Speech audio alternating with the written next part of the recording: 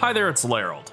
Today I'm going to be talking about the new feature in Dragonflight patch 10.0.5, the Trading Post.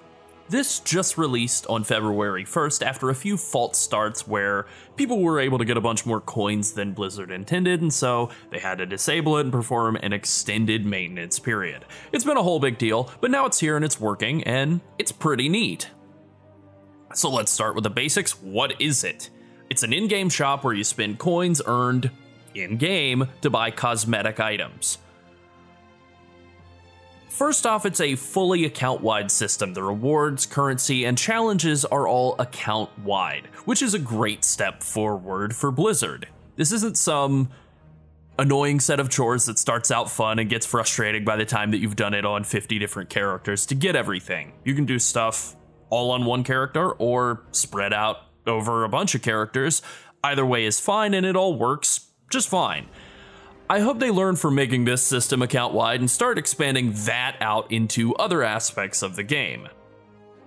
Another thing I've seen tossed around a bit is that this is WoW's version of a battle pass, and it's sort of like a battle pass in WoW, but not exactly. A battle pass is a thing you spend money on in a game you already have, that's not how this works. This is free. You still need a subscription or game time to play WoW, and you have to actually play the game to make use of the trading post. But that extra component of a battle pass, the part where you pay extra money on top of money you've already spent on the game, that's not part of the trading post. And that's good. Now let's look at what's available to buy in the trading post. It is only cosmetics, mounts, pets, weapon and armor transmogs, weapon enchant illusions, that sort of thing. There's no player power to be found here. This is all about looking good. But as the saying goes, look good, feel good, feel good, play good. The stock of available items changes every month. For the month of February, the highlights are the Celestial Steed, which was previously a store mount, the Fury of the Fire Lord, a cool Ragnaros themed one handed flail mace transmog, Garlock, this little ogre pet, a full pirate transmog set, a purple recolor of Edict of Argus, the staff from Archimonde and Hellfire Citadel, and a bunch of other transmogs as well. These rewards do rotate on a monthly basis, so there's an incentive for logging in at the first of every month and seeing what's new.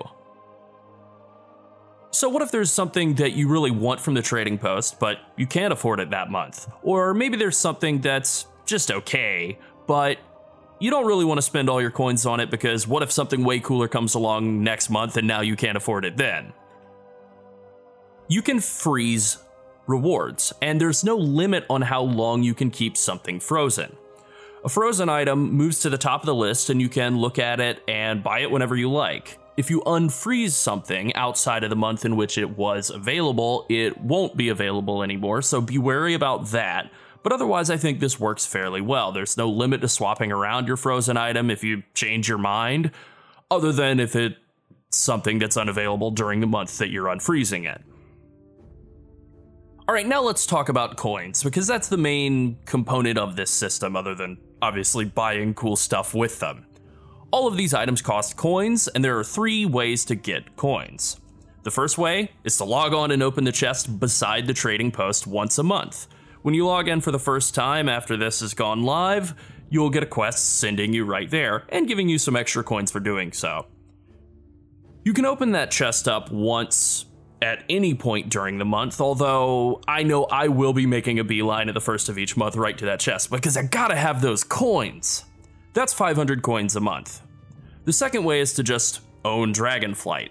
If you buy Dragonflight, you get 500 coins, and that is retroactive, so whether you bought it the moment it was available for pre order, or the day it came out, or you don't buy it until next week or next month, you're still getting those 500 coins.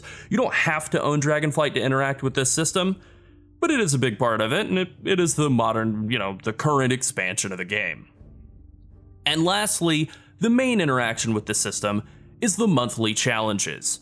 They're merged into the adventure guide. I believe the default keybind for that is Shift J.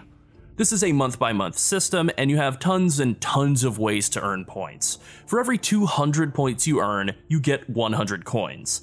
The maximum amount of coins you can earn each month is 500, so you only need to earn 1,000 points a month to cap out the system, and you can easily earn several thousand points. So it's very easy relative to the amount of ways you have to earn points to hit that cap. Once you hit that 1000 point cap, you get a really awesome looking mount named Ash'adar Harbinger of Dawn. It's a high resolution remodel of the classic Spectral Tiger mount. It changes colors depending on whether it's day or night as well, it's very cool. Presumably there will be other amazing rewards in future months, but at this point we don't know for sure. We were only able to test the rewards for February on the PTR, so I guess we'll just have to check back again in March. Just to give some uh, more examples here, you get 200 points for completing 5 Mythic Plus dungeons of any level, or 15 Mythic Plus dungeons of any level, points for completing 30 quests, killing 25 raid bosses from any raids, including raids from past expansions. You get 200 points for killing 10 Dragonflight raid bosses. You get 50 points for earning 5,000 gold from the auction house. There's tons of stuff to do.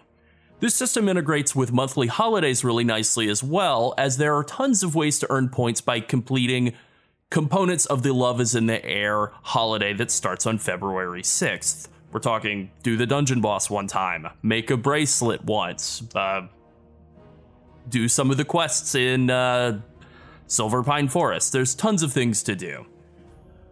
A lot of the challenges for a month will follow a theme.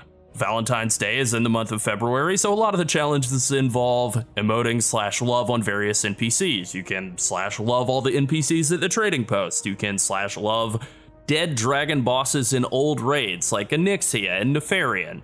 You can slash love the dragon aspects in Valdrakken. And those are all super easy ways to get some quick points this month. You may even log in to find that you've already finished some of the challenges. For example, one of the February challenges is to complete all the side quest lines in the Waking Shore. I already did that, so I logged in and I just had 200 points for the month. Not bad.